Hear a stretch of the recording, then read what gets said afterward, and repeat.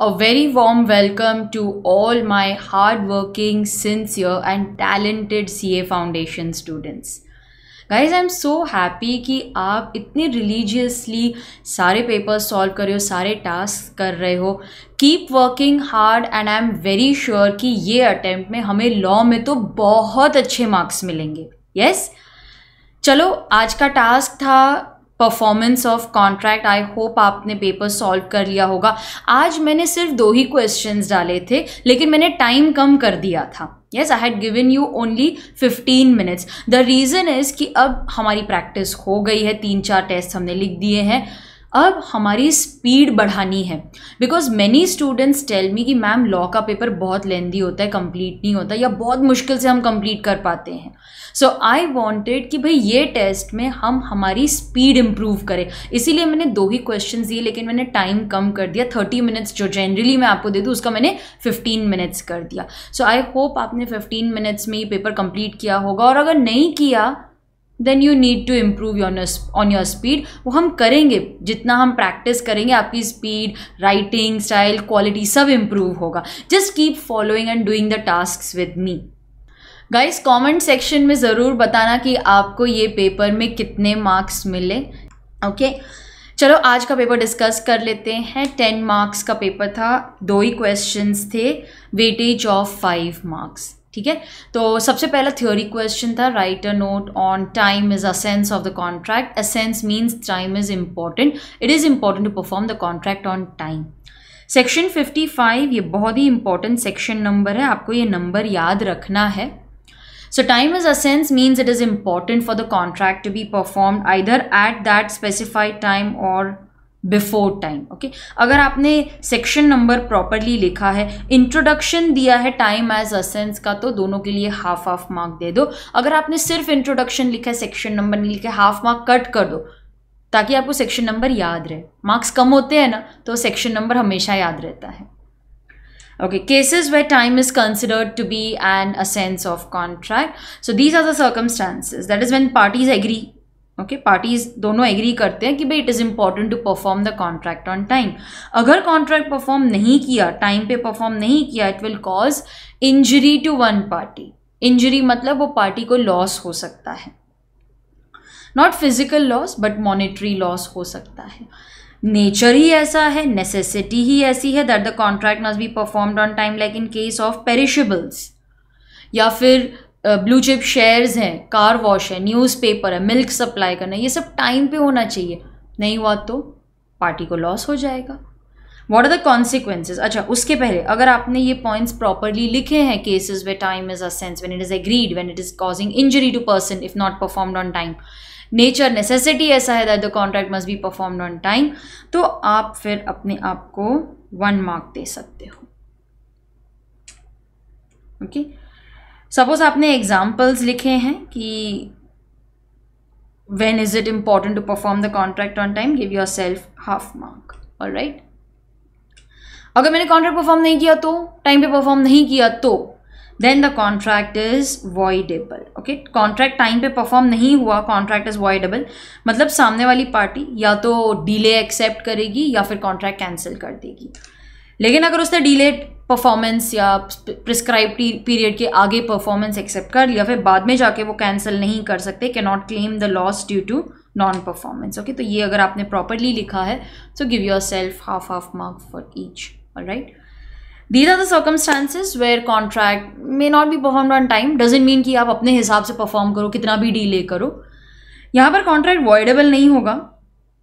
Contract is not voidable but yes you can very well claim damages okay you can claim loss generally in case of non commercial contracts time is not in a sense तो सबके लिए आप अपने आप को half mark दे सकते हो these are things which you need to mention in the answer तो हो गया okay so please check your answers मैं मैं जानबूझ के हाफ़ हाफ़ मार्क बताती हूँ आपको so that even if uh, half the point is written तो ठीक है ये word लिखा है तो हाफ़ मार्क दे दिया वो words लिखे तो उसमें हाफ़ मार्क दे दिया okay so that is how you will understand कि कौन से words मुझे लिखने चाहिए next again it's a very important question it's a very important concept for exam इस पर काफ़ी बार क्वेश्चन आते हैं। What is meant by supervening impossibility and does it excuse the promise of from performing the contracts in all the cases तो वो आपसे ये पूछना चाहते थे कि ऐसे कौन से केसेस है जहाँ पर सुपरवीनिंग इम्पॉसिबिलिटी से कॉन्ट्रैक्ट डिस्चार्ज नहीं होगा okay now what is the meaning of supervening impossibility बहुत सिंपल है। सुपरवीनिंग मीन्स दैट जब हमने कॉन्ट्रैक्ट एंटर किया था, तब तो सब वैलिड था। But due to certain circumstances the contract becomes void okay so supervening means impossibility which did not exit exist at the time of contract but which rose subsequently तो ये supervening का meaning है। Supervening impossibility will make the contract void अगर आपने इतना भी लिख दिया ना चलेगा। ये जो बाद में का पैराग्राफ है that is just explanation it is just for your reference कि आप और भी उसमें पॉइंट्स ऐड कर सकते हो। ये अगर आपने प्रॉपरली लिख लिया है तो आप अपने आप को वन मार्क दोगे। Section number plus what is the meaning of supervening impossibility अच्छा ऐसे कौन से सर्कमस्टांसेस है जहाँ पर कॉन्ट्रैक्ट सुपरवीनिंग इम्पॉसिबिलिटी की वजह से वॉइड नहीं होगा? Can I say in other words अगर वॉइड नहीं हो रहा है it means the contract will remain valid लेकिन अगर पार्टी फिर भी परफॉर्म नहीं करती non performance will amount to breach of contract the aggrieved party can claim damages ठीक है? तो अब हम वो सारे केसेस पढ़ रहे हैं जहाँ पर कॉन्ट्रैक्ट सुपरवीनिंग इम्पॉसिबिलिटी की वजह से वॉइड नहीं हो रहा है कॉन्ट्रैक्ट वैलिड रहता है, लेकिन फिर भी परफॉर्म नहीं किया तो it amounts to breach of contract so what are the circumstances जैसे यहाँ पर देखो difficulty of performance contract difficult है? इम्पॉसिबल नहीं है। कमर्शियल इम्पॉसिबिलिटी पार्टी ये बोल के कॉन्ट्रैक्ट परफॉर्म नहीं कर रही है कि नहीं, मुझे लॉस हो जाएगा, मेरा प्रॉफिट कम हो जाएगा। हम बोलते हैं, तुमको लॉस होता है, तुम्हारा प्रॉफिट कम होता है, तुम्हारी problem why should the party to the contract suffer नहीं नहीं परफॉर्म करो। डिफ़ॉल्ट ऑफ़ थर्ड पार्टी जैसे जेड एक होलसेलर है। He promised to supply goods to Y, a retailer, who in turn promised to supply goods to Z, the customer. अब Z के factory में कुछ लेबर अनरेस्ट की वजह से वो Y को बोलते देख मेरे तो गुड्स नहीं बन रहे मैं कॉन्ट्रैक्ट परफॉर्म नहीं करूँगा.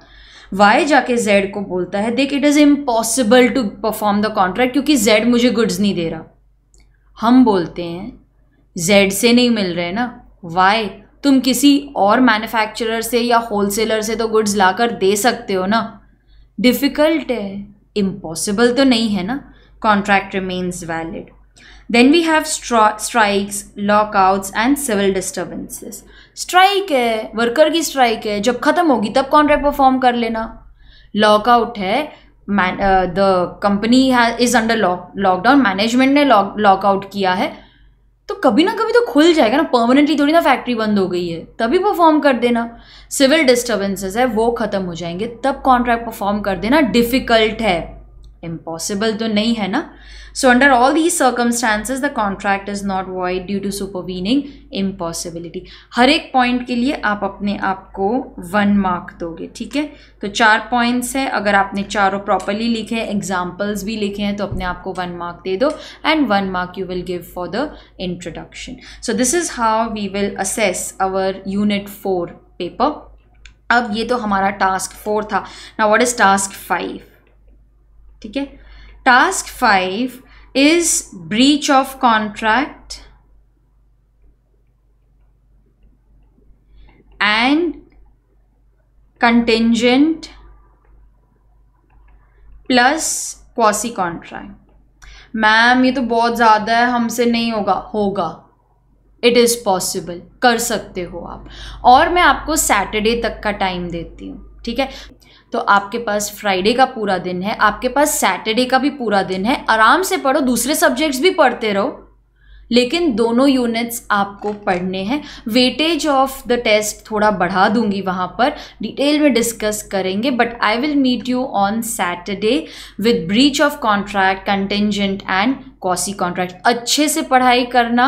And if you are watching my video for the first time don't forget to subscribe to your channel theory masters learning ताकि आपको ऐसे ही रिविजन वीडियोज़ और टेस्ट मिलते रहें।